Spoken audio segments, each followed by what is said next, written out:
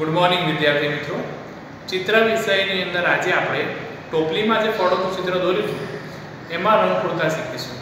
હવે જુઓ, જે ફળો હોય છે, એમાં ફરજિયાત કલર હોય છે. આપણે એમાં મનગમતા રંગ પૂરી શકતા નથી. પણ ટોપલીમાં આપણે મનગમતા રંગ તો પણ પૂરી શકીએ છીએ. તો આજે આપણે એવા ચિત્રમાં કલર કયા પૂરીએ જેથી ચિત્ર સારું લાગે, એ હું તમને શીખવાડીશ. તો બોર્ડ ઉપર આપણે ધ્યાન આપવાનું છે. કલર પૂરવા માટે તમારે ઓઇલ પેસ્ટલ અથવા તો સાદી પેન્સિલ કલરનો યુઝ કરી શકાય છે. કોઈએ સ્કેચ પેન કે વોટર કલરનો ઉપયોગ કરવાનો નથી. અને કલર પૂર્યા પછી તમારે સાદી પેન્સિલથી અથવા બ્લેક કલરના જે પેન્સિલ કલર આવે છે, એનાથી બોર્ડર કરવાની છે. ઓકે કોઈ સ્કેચ પેનથી કે ઓઇલ પેસ્ટલ કલરમાં જે બ્લેક કલર આવે, એનો ઉપયોગ કરીને બોર્ડર કરવાની નથી. તો ચાલો આપણે કલર પૂરતા શીખીએ. તો આ રીતે આપણે ટોપલી દોરી હતી અને આ રીતે ફળો દોર્યા હતા. તો સૌથી પહેલાં શરૂઆત કરીએ આપણે ટોપલીથી કલર પૂરવાની તો અહીંયા આગળ જે મેં ખરું કર્યું, ત્યાં આગળ આપણે આછો વાદળી કલર પૂરીશું. જે મેં લખ્યું છે અહીંયા, આછો વાદળી કલર. જે ખરું કર્યું છે, ત્યાં આગળ આછો વાદળી કલર પૂરીશું. હવે જે ઊભી લાઈન છે, આ ઊભી લાઈનમાં કયો કલર આવશે? આપણે ઘાટો વાદળી કલર.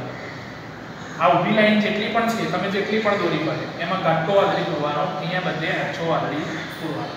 હવે આ જે સ્ટેન્ડ છે, તો ત્યાં આગળ પણ કયો આવશે?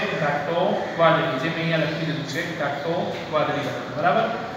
હવે આપણે ફળોની અંદર કલર પૂરતા સમજીએ. તો આ સફરજન છે, તો એની અંદર કયો કલર પૂરીશું આપણે? લાલ કલર.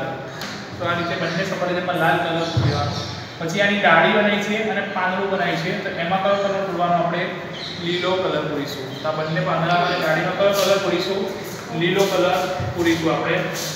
ત્યાર પછી આ દ્રાક્ષ. તો દ્રાક્ષની અંદર પણ અહીંયા મેં લખી દીધું છે, કયો કલર આવશે? આછો લીલો. તો અહીંયા દ્રાક્ષમાં આછો લીલો કલર, પાંદડામાં તમારે ઘાટો લીલો પૂરો હોય તો પૂરી શકાય. એના પછી અહીંયા છે કેરી. તો કેરીની અંદર કયો કલર આવશે? મેં લખી દીધું છે પીળો કલર. હવે કેરી કેસરી કલરની પણ હોય છે, તો તમારે કેસરી પૂરવું હોય અથવા તો અડધામાં કેસરી અને અડધામાં પીળો પૂરવો હોય તો પણ ચાલે.